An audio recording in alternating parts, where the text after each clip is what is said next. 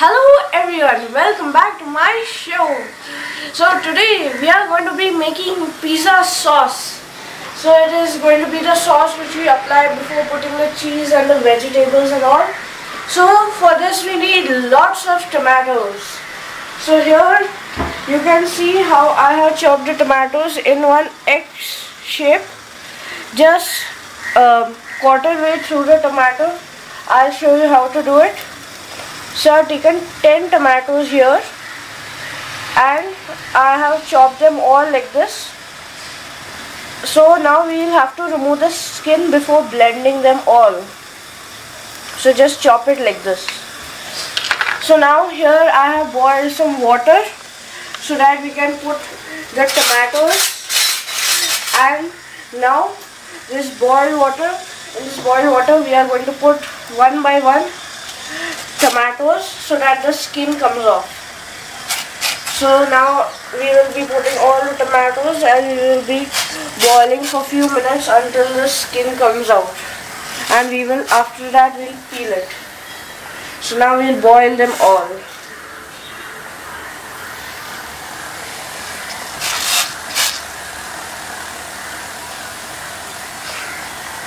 So now we have boiled some and and half of the tomatoes you must keep for um, half of the tomatoes you must keep because we need that for later.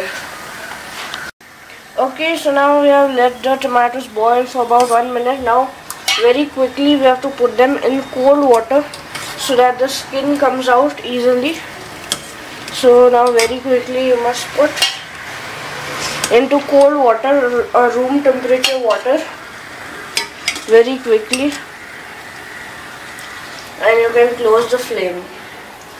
So now the skin would have come out.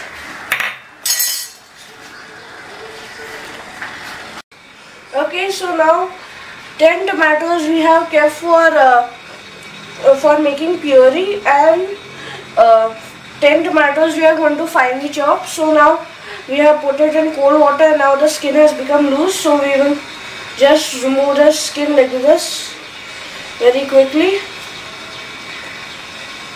and now all these tomatoes we will put in a blender. And we also have to chop off this top just a thin chop off. And now we are ready to put the tomatoes in the hand blender.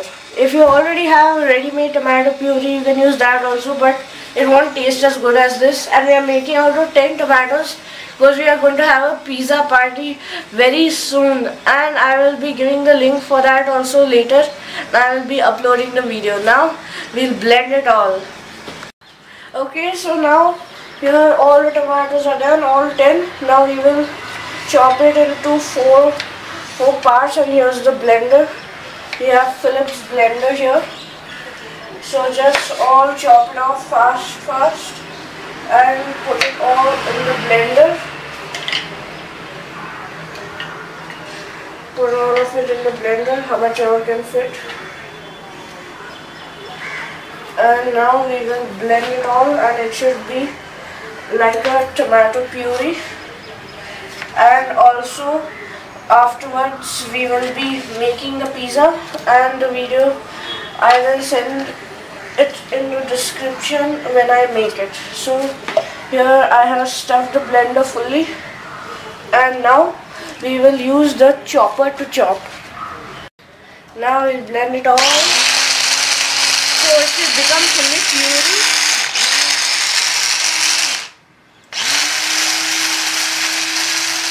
So now we'll make all the tomatoes into a puree. Okay, so now we have made all the puree here all tomato puree is ready. And now we will take five tomatoes. Uh, we have to use half of the tomatoes we are using. So we are using five tomatoes. We have chopped it into four pieces. And now we will put it in the hand chopper. And uh, don't chop it finely. Just chop it like coarse. Along with the okay so now we have chopped some tomato uh, like it is coarse and here's a tomato puree out of 10 tomatoes. This is out of 5 tomatoes. Here 5 onions. We have finely chopped. Here is uh, chili flakes salt basil leaves some olive oil. You can use any oil. This is oregano. We need some butter also and some sugar. So now here we have got one big pan and I put it on high flame and now we will put some oil.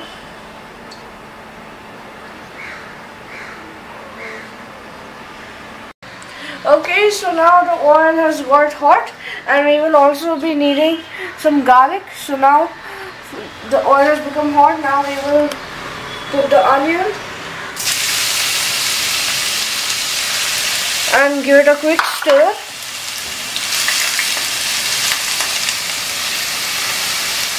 and we will also put the garlic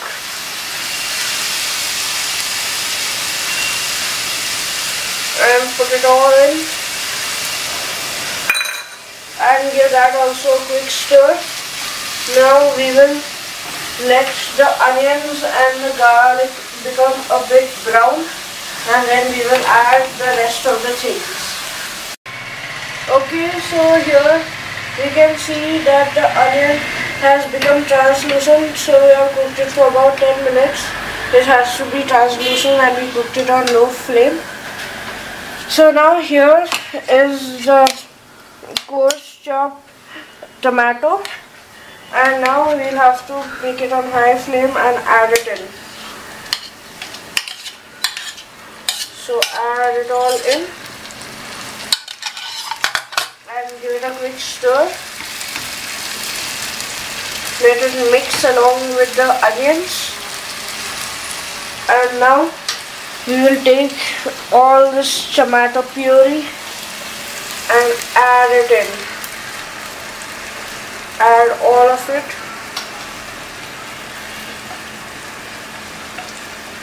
And now we will be adding all the oregano chili flakes and everything and letting it simmer for about 5 minutes so just give it a good stir and now here is the salt and chili flakes and all which we will be putting after stirring it well. Okay, so now we stir it for a few seconds and now we will be adding in the oregano, salt, basil, pizza seasoning which is uh, oregano and some sugar and salt. We will be adding the butter last. So now let's start with chili flakes. And we will be putting all these chili flakes inside. Not all but some. So now we will be putting the chili flakes inside. Now after that we will be taking the oregano which is also known as pizza seasoning. Taking some of that and putting. And now we will give it a good stir.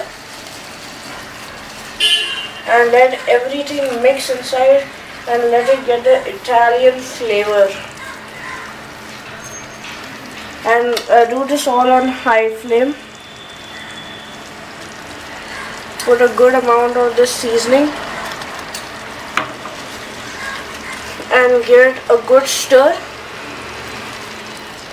and now since there was already salt in the oregano we will be putting very little salt just one pinch.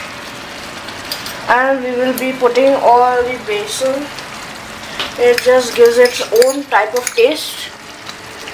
And we'll give it a quick stir.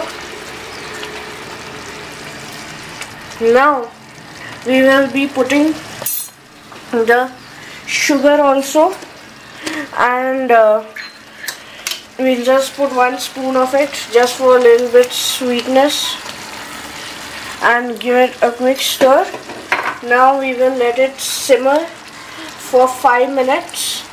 And after that we will put the butter and then it will be ready. So just cover it and let it simmer for 5 minutes okay so now we'll let it simmer for about 5 minutes. Now just to get the correct consistency we'll mash it all up. You can mash it anyhow you want. I'm mashing it with this. So we'll mash it and then we'll add this chili tomato sauce and some butter. You uh, if you don't have chili tomato sauce then you can add a little bit chili powder also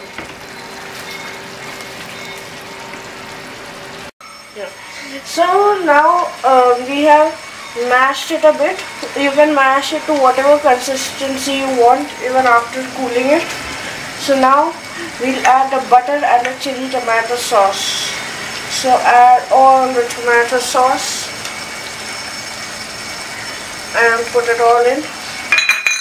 And add the butter. So the butter will also give a nice consistency and even the sauce will give its own unique taste. So now let the butter fully melt in.